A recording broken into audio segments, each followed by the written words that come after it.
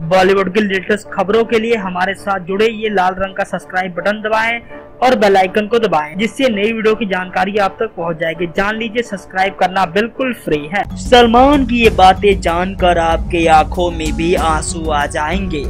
जी हम बात कर रहे सलमान खान की ज़िंदगी की कुछ ऐसे पलों के बारे में, जहाँ सलमान खान अकेले पड़ गए थे, लेकिन उसके बाद भी सलमान खान रुके नहीं, आगे चलते गए और आज बॉलीवुड के सबसे बड़े सुल्तान भाईजान माने जाते हैं। आपको बताते चले, सलमान खान की लाइफ में यूँ तो बहुत सी लड़कियाँ हैं, लेकिन एक खास थी वो थी ऐश्वर्या बच्चन। जी हाँ सलमान खान को जब ऐश्वर्या बच्चन से प्यार हुआ, तब सलमान खान के माँ बाप भी नहीं चाहते थे और ऐश के माँ बाप भी नहीं चाहते थे।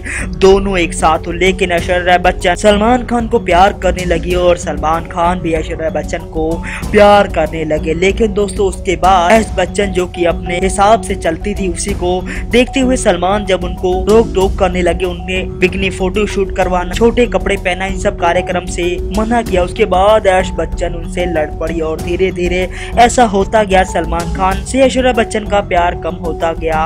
आखिरकार एक समय ऐसा भी आया जब सलमान खान को ऐश्वर्या बच्चन छोड़ के चली गई। वो समय था रात दस बजे। जब ऐश्वर्या बच्चन के घर के बाहर सलमान खान रात भर दरवाज़ा खटखटाते रह गए, लेकिन ऐश्वर्या बच्चन ने दरवाज़ा नहीं खोला। उनके माँ बाप की मर्ज़ी के हिसाब से सलमान खान रात भर वहीं पर ठंड में सड़ते रहे। आखिरकार सलमान खान को सुबह ऐश्वर्या बच्चन ने उनका मुँह देखा। उसके बाद ऐसा हुआ, सलमान खान ने ऐश्वर्या बच्चन को एक झटके में ही छोड़ दिया। हालाँकि सलमान खान सच्चा लव करते थे, ऐश्वर्या बच्चन से इसलिए कुछ दिन तक तड़पते रह गए। लेकिन उसके बाद सलमान खान के अंदर एक ऐसा जनून छाया कि उन्होंने कहा कि मैं बॉलीवुड का सबसे बड़ा सुपरस्टार बनूँगा। उस समय ऐश्वर्या बच्चन खुद ही पछताएगी कि मैंने सलमान खान को क्यों छोड़ा।